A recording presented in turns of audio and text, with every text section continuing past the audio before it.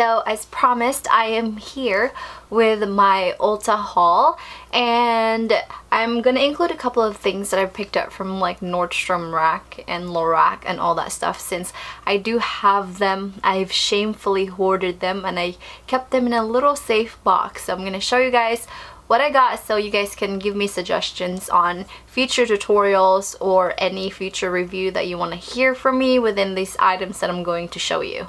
So I'm going to show you guys the things that I got from Ulta first and I'm not sure, I already showed you the self-made palette from Anastasia Beverly Hills but I showed you from my Sephora haul but that one I'm going to reserve for a giveaway so this one is specifically for me.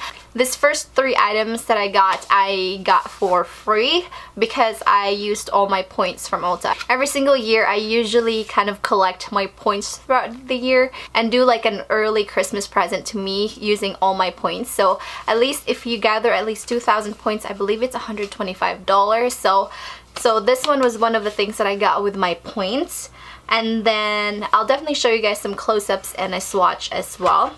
And then the next one is the Vice 4 palette. I was actually debating on not getting this. I've skipped out on the past few Vice palettes. I only have Vice 2. I didn't get last year's. But this year's colors really spoke to me. They have a nice warm transition color and I really thought that this palette is really really pretty and I think it's a little bit thinner compared to the Vice 2 that I have so I figured I should just go ahead and get it and if it's for free why not? And the last big item that I got with my points is the Lorac Mega Pro 2. This definitely was the number one item on my list. When the Mega Pro from last year, I do have that right here. I know I never really mentioned it too much or did much like a tutorial or anything because I know when that was released, it was it was basically sold out so quickly and a lot of people were mad and so like if I keep showing it to you, it's just kind of like rubbing it in and I didn't want to do that. This time they actually released it at Ulta and I don't believe it's sold out at all. So if you were looking for a Christmas present, I think this is a really nice gift. It's $59 and I got to spend my points on this baby so basically it was free. Let me know if you guys want to see a tutorial with this palette as well or an in-depth review. And the next item I picked up is this Becca Afterglow palette.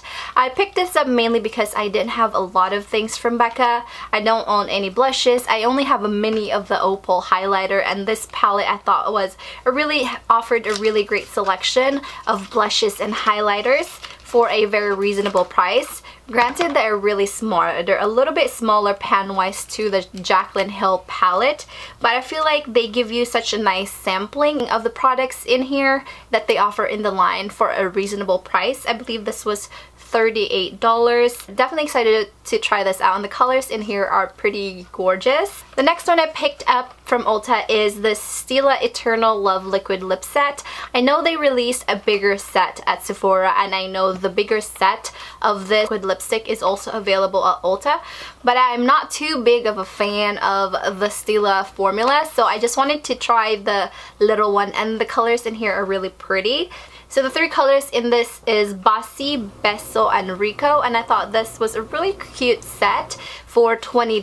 I thought it was re really reasonable and then you can usually, you can probably even buy this or gift this to someone and use this as a stocking stuffer. So I thought that was a really cute set. And then the last thing that I picked up from Ulta is the, the Lorac Pro Matte. I pretty much have almost all the Pro palettes that Lorac has released and I thought this was really pretty and I wanted to get this because of the burgundy color. I know it's not really a reasonable excuse when you have the giant pro palettes, the mega pro and whatnot but I thought this one would make such a nice travel companion because it has nice little matte colors and if I were to compare this to the Naked Basics palette for Naked Basics 1 and 2, I have both. I do prefer this one because I like the colors more and I like that it came with a burgundy shade. And the next few things I'm going to show you guys are things that I've picked up in random places. So first thing is I got this one, this little set from Stila at Nordstrom Rack and I thought this was a really cute set. Is their Stila convertible trio in Lilium, Petunia, and Hibiscus and this was only $10 at Nordstrom Rack. And, and I wanted to pick this up because it's getting cold so usually in the summertime I don't like creamy products because they kind of just slide off in the face when your face is sweating in the summer heat. But now that it's colder, I feel like my skin can withstand the creamy products and actually hold it together and not get too greasy or slide off on my face. So I wanted to give this a try and it has really pretty colors. I only have one of these convertible colors so I wanted to include this in my collection and for $10 you can't really pass that up. And the last find I had from Nordstrom Rack which I was really really excited about because I missed out when this was released on in Nordstrom.com is the Lorac Skinny Marsala palette.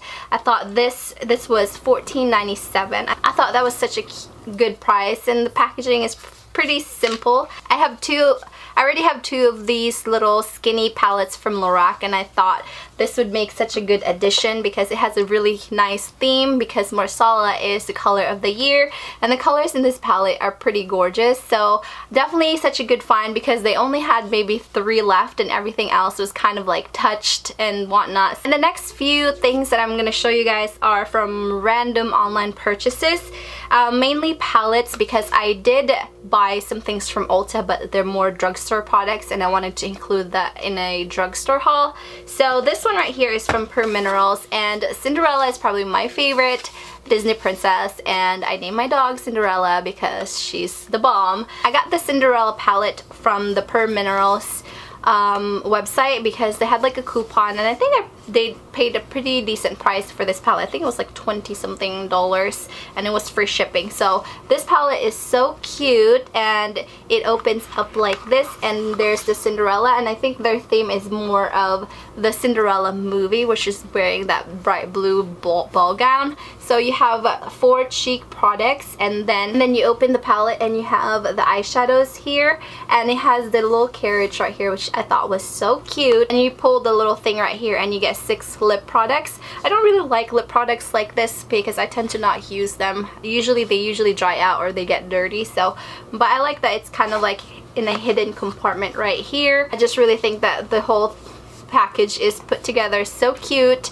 And I mainly got this because it was Cinderella not necessarily for the colors and whatnot because I really wanted to kind of just display this palette. I know makeup hoarder problems but it's such a cute palette. If it, I believe it's still available and if your Kohl's holds the entire Pur Minerals line I think you'd be able to spot this as well. And the next few items I got from the Lorac website I got a really good deal on these products because I picked this up when they were having like a 30 30 or 40% off the entire site. I'm not really sure when this was, but I finally decided to pick up the Pro Contour because it was such a good price. I paid like $29 for it. And the next item I picked up from Lorac is this Lorac Alter Ego Dream Girl palette. I've mentioned this palette in a haul a long time ago that I've always wanted it, but I didn't really want to spend $24 on it. So when this when the whole website went on sale, I was like, might as well buy it. And I thought this had really fun colors. These are more summery colors though. And from that order, I